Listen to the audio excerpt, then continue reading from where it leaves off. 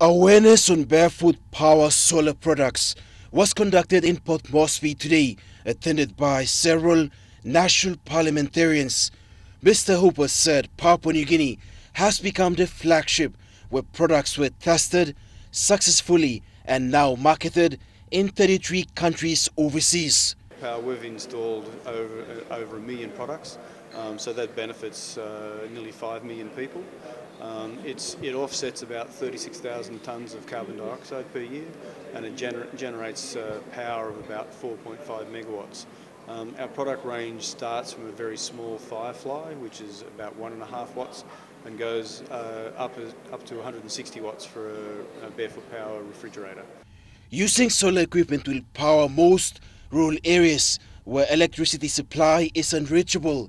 Already Papua New Guineans have been using solar energy to power their homes, placing a high demand in the market. And not having to use kerosene anymore and get uh, toxic, toxic fumes. Um, the children are now able to study at night and read books at night, so they're, they're, they're um, so much better off that the product has to be a quality product with a proper warranty because they want to ensure that they're looking after their people with quality products rather than uh, cheap products that, that don't work after a short period. National Parliament Speaker Theo Zurenuoc was pleased with the Barefoot Power products.